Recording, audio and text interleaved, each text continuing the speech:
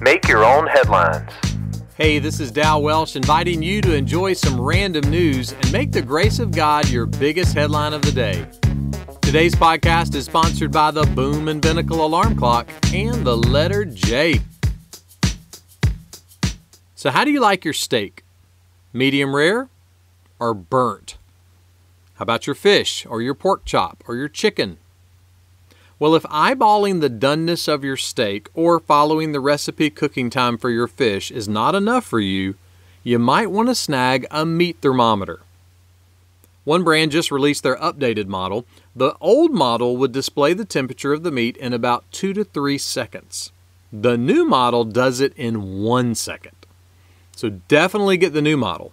I mean, can you imagine having to wait three whole seconds to see if your baked chicken gizzards were done? Yikes. Did you know that steak and chicken and pork chops taste better in space? They're meteor. The Bible has an interesting statement in the book of Proverbs. It says, The ants are not strong, but they prepare their food in the summer. Now, what in the world does that mean? Well, it's kind of saying that when the weather is nice, ants store up food for when the weather is not so nice.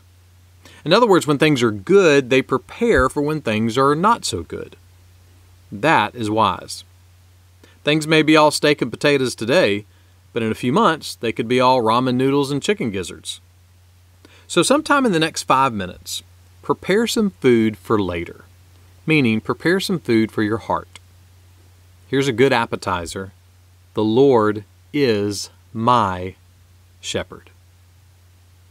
Unlike the latest meat thermometer, that truth can help your heart and mind and soul in less than a second. Make that one of your headlines today. Make Your Own Headlines is a little smidge of encouragement from Holland Avenue Baptist Church. For more ways to listen to this podcast, for weekly sermons, and for more positive resources, check out hollandavenue.com.